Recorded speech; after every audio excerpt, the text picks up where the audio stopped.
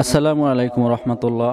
দূরে কিংবা কাছে দেশে অথবা প্রবাসে যে যেখান থেকে আমাদের আজকের ইসলাম জানা অজানার পর্বটি দেখছেন তাদের সবাইকে এসএসআর ইসলামিক মিডিয়ার পক্ষ থেকে জানাই আন্তরিক শুভেচ্ছা। তো চলুন আজকের পর্বটি দেখে আসি। আমাদের ধর্মের নাম কি? ইসলাম। আমাদের ধর্মের নাম? ইসলাম। আমাদের এই বিশাল জাহানের সৃষ্টিকর্তা আছে একজন রাইট? সে সৃষ্টিকর্তা কে? মহান আল্লাহ তালা কালিমা শাহাদাত তুমি পারবা? বলতে? জি। বলো। কালিমা শাহাদাত আশহাদু আল্লা ইলাহা ইল্লাল্লাহু ওয়াহদাহু লা শারীকা লাহু ওয়া আশহাদু আন্না মুহাম্মাদান আবদুহু ওয়া রাসূলুহু। মাশাআল্লাহ তুমি এটার অর্থ পারবা? জি। বলো। আল্লাহ তাআলা ছাড়া কোনো ইলাহু নেই তিনি এক তার কোনো শরীক নেই। আমি আরও সাক্ষ্য দিচ্ছি যে হযরত মুহাম্মদ সাল্লাল্লাহু আলাইহি সাল্লাম তার বান্দা ও রাসূল। প্রথম নবীর নাম কি? প্রথম নবীর নাম হরজত আদম আলাইসাল্লাম হ্যাঁ হজরত আদম আলাইসাল্লাম তোমার ইসলামিক কিছু প্রশ্ন করলে তুমি উত্তর দিতে পারবা? ইয়েস ইয়েস তোমার কাছে প্রথম প্রশ্ন হচ্ছে যে প্রধান আসমানি চারটা কিতাব এই চারটা কিতাবের নাম তুমি বলতে পারো? তাওরাত জাবুর ইঞ্জিল কুরআন মাজিদ। মাশাআল্লাহ প্রথম প্রশ্ন তোমার সঠিক হয়েছে। তোমার কাছে দ্বিতীয় প্রশ্ন হচ্ছে তাকদির বা ভাগ্যের উপরে বিশ্বাস রাখা কি? ফরজ। ফরজ মাশাআল্লাহ আমাদের শেষ নবীর নাম কি? আমাদের শেষ নবীর নাম হরজত মোহাম্মদ সাল্লাহ আলাইসাল্লাম আমরা মুসলিমরা দেখলে একে অপরকে সালাম দিই। তো এই সালামের বিধান কি? বিধান তো শান্তি পাওয়া বা এই সালামটা দেয়া কি? সুন্নত। ইসলামের স্তম্ভ হচ্ছে পাঁচটি। এই পাঁচটি স্তম্ভ কি কি? রোজা হজ জাকাত কালেমা। কয়টা হয়েছে? চারটা। পাঁচটা বলো। রোজা হজ জাকাত কালেমা ইসলাম। রোজা হজ জাকাত রোজা হজ জাকাত কালেমা। নামাজ। নামাজ। একটু সুন্দর করে বলো। রোজা হজ জাকাত কালেমা নামাজ। কালিমা নামাজ রোজা হজ জাকাত তো আমাদের আদি পিতামাতার নাম কি? মোহাম্মদ আদম আলাইসাল্লাম মোহাম্মদ হাওয়া আলাইসাল্লাম হজরত আদম আলাইসাল্লাম হজরত আদম আলাইসাল্লাম আর হাওয়া আলাইসাল্লাম বান্দার আমল নামা লিখেন কোন ফেরেস্তা কেরামন কাতিবিন। আসমানি কিতাব মোট কতখানা? একশো চারখানা। একশো চারখানা কিতাবের ভিতরে বড় কতখানা? চারখানা।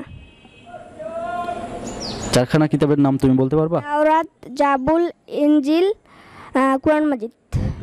তাওরাত জাবুল ইনজিল কোরআন মাজিদ। জাবুল না জাবুর? জাবুর ইনজিল কোরআন মাজিদ। আল্লাহর গুণবাচক নাম কতগুলা?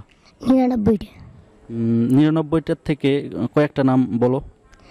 আর রহমান আর রহিম আল মারিকু আল কুদ্দুসু আসসালামু আল মুমিনু আল আমিন উপাধি কার ছিল? আলামান উপাধি হজ মোহাম্মদ সাল্লাহ সাল্লামের ছিল। আল আমিন উপাধি হজরত মোহাম্মদ সাল্লাহ আসলামের ছিল। তো এই হজরত মোহাম্মদ সাল্লাহ আসলামের আল আমিন উপাধি দেওয়ার কারণ কি ছিল? বলতে পারবা তুমি? তার জীবনে কোনো তিনি মিথ্যে কথা বলেননি। তার জীবদ্দশায় তিনি কখনো মিথ্যা কথা বলেন না এজন্য তার উপাধি দেওয়া হয়েছে? আলামিন আল আমিন পবিত্র কুরআনে সূরা সংখ্যা কতগুলো তুমি বলতে পারবা? জি। একশো চোদ্দটি। একশো চোদ্দোটি। তোমাকে আমরা জিজ্ঞেস করব যে কালিমায় তাইয়েবা এটা তুমি পারবা? ইনশাল্লাহ বলো।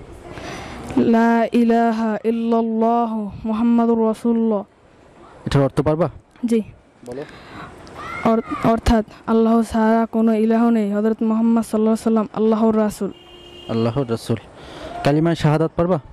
ইনশাল্লাহ বলো।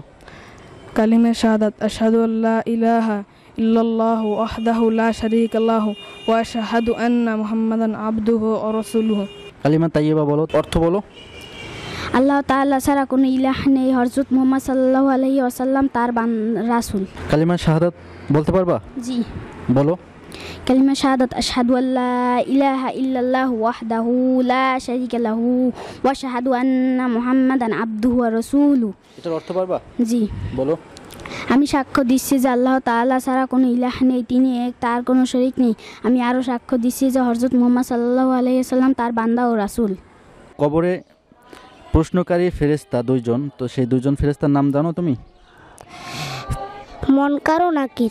মনকার ও নাকির। মনকার ও নাকির। পবিত্র কুরআনে সবচেয়ে ছোট সূরা কোনটি তুমি বলতে পারবা? হ্যাঁ। বলো। সুরা আল কাউসার মাশাআল্লাহ আমাদের ধর্মগ্রন্থ বা সংবিধানের নাম কি? আল কুরআন জোরসে বলো। আল কুরআন সূরা ফাতিহার আয়াত সংখ্যা কতটি? সুরা ফাতিহার আয়ার সংখ্যা ষাটটি। মাশাআল্লাহ মৃত্যু ব্যক্তির কবরে কয়টি প্রশ্ন করা হয়? তিনটি। আসমানি কিতাব মোট কতখানা? একশো চারখানা। একশো চারখানা কিতাবের ভিতরে বড় কতখানা? চারখানা। এই বড় চারখানার নাম তুমি বলতে পারবা? জি। বলো। এক নম্বরে তাওরাত দুই নম্বরে জাবুর তিন নম্বর ইঞ্জিল চার নম্বরে কুরআন। এই চারটা কিতাব কোন কোন নবীর উপরে নাজিল হয়েছে সেটা তুমি বলতে পারবা? জি। বলো। তাওরাত হজরত মুসা আলাহি আসাল্লামের উপর নাজিল হয়েছে। জাবুর হজরত দাউদ আলাহি আসাল্লামের উপর নাজিল হয়েছে। ইনজিল হজরত ঈসা আলাহি আসাল্লামের উপর নাজিল হয়েছে। কুরআন হজরত মুহাম্মদ সাল্লাহ আলাহি আসাল্লামের উপর নাজিল হয়েছে। মাশাআল্লাহ তোমার প্রশ্নটি সঠিক হয়েছে। তাওরাত কোন নবীর উপরে নাজিল হয়েছে? হজরত মুসা আলাইহি সাল্লাম হযরত মুসা আলাইহিস উপরে। জাবুর কোন নবীর উপরে নাজিল হয়েছে? হজরত দাউদ আলাইহি সাল্লাম ইনজিল কোন নবীর উপরে নাজিল হয়েছে? হজরত ঈসা আলাইহি সাল্লাম আর আমাদের শেষ নবী হযরত মুহাম্মদ সাল্লাল্লাহু আলাইহি সাল্লামের উপরে কোন কোন কিতাব নাজিল হয়েছে? কোরআন একটু জোরসে বলো। কোরআন। মাশাআল্লাহ তোমার প্রশ্নটি সঠিক হয়েছে। প্রধান চারজন ফেরেশতার নাম তুমি বলতে পারবা? জি। বলো। এক নম্বরে হজরত জিব্রাইল আলাইসাল্লাম দুই নম্বরে হজরত মিকাইল আলাইসাল্লাম তিন নম্বরে হজরত আজরাইল আলাইসাল্লাম চার নম্বরে হজরত ইসরাফিল আলাই মাশাআল্লাহ সকল নবী রাসূলগণের সর্দার কাকে বলা হয়? কোন নবীকে বলা হয়? হজরত মুহাম্মদ সাল্লাল্লাহু আলাইহি ওয়াসাল্লাম। সূরাতুশ শিফা কোন সূরাকে বলা হয়? সূরা ফাতিহা বলো। সূরা ফাতিহা। সূরা ফাতিহা মাশাআল্লাহ। আর মৃত্যু বা বিপদের কথা শুনলে কি পড়তে হয়? ইন্না লিল্লাহি ওয়া ইন্না ইলাইহি রাজিউন। ইন্না লিল্লাহি ওয়া ইন্না ইলাইহি রাজিউন। কোনো খারাপ কথা শুনলে অথবা খারাপ কাজ দেখলে আমাদের কি বলা উচিত? নাউজুবিল্লাহ ইমানের পরে কিসের স্থান? নামাজ। নামাজ। নামাজ ইসলামের কততম স্তম্ভ বলতে পারবা তুমি? দ্বিতীয়। দ্বিতীয় মাশাআল্লাহ। কোরআন মাজিদে বর্ণিত কতজন নবীর নাম উল্লেখ আছে তুমি বলতে পারবা?